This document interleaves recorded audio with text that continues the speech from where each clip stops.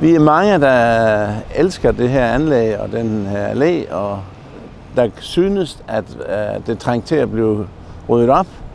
Og øh, efter nogle henvendelser til kommunen, så lykkedes det mig at, øh, ved, ved at, at foreslå borgerinddragelse, at vi øh, kunne hjælpe, og så var kommunen velvillig til at, ind, til at hjælpe med entreprenører, der kunne komme og med save og flishugger og alt det, der skulle til.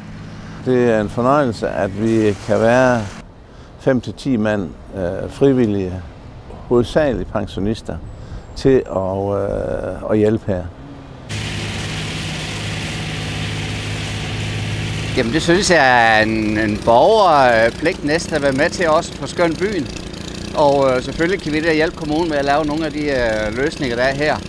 Og kommunen måske være lidt bedre til at spørge og sige, hvad er der nogen, der har lyst til en frivillig opgave.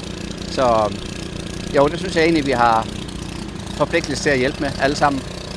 Og det er skønt at være med og se så mange, der, der gider at bruge tid og kræfter på det her.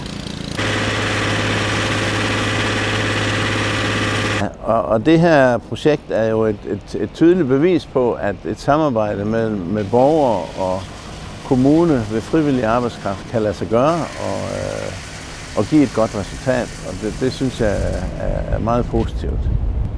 Og det er noget, man måske også kunne bruge i andre sammenhænge og andre områder. Jeg skulle med, fordi det er en kollektiv opgave, som er sjov at være med i. Ikke?